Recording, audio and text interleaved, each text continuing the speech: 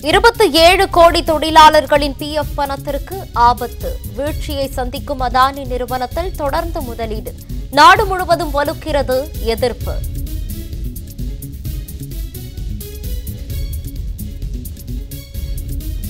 ராகுல் காந்தி தகுதி நீக்கம் செய்யப்பட்டதை கண்டித்து கருப்பு உடை அணிந்து எதிர்க்கட்சிகள் முழக்கம் இன்றும் முடங்கியது நாடாளுமன்றம்.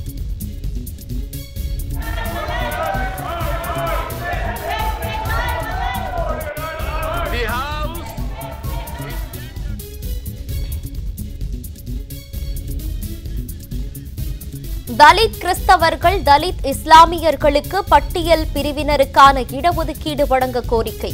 டெல்லி ஜந்தர் மந்தரில் ஆயிரத்திற்கும் மேற்பட்டோர் திரண்டு ஆர்ப்பாட்டம்.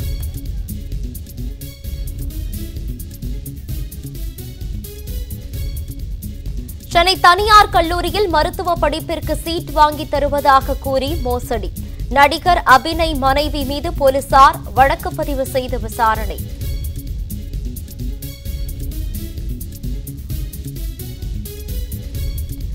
கர்நாடகாவில் பாஜக பிரமுகரின் காரில் இருந்து பதினைந்து லட்சம் ரூபாய் பணம் கட்டுக்கட்டாக பறிமுதல். வாக்காளர்களுக்கு கொடுக்க வைத்திருந்த மதுபான பாக்கெட்டுகளை கைப்பற்றி விசாரணை.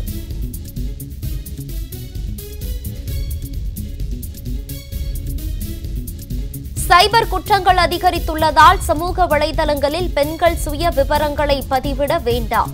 காவல்துறை டிஜிபி சைலேந்திர பாபு அறிவுறுத்தல்.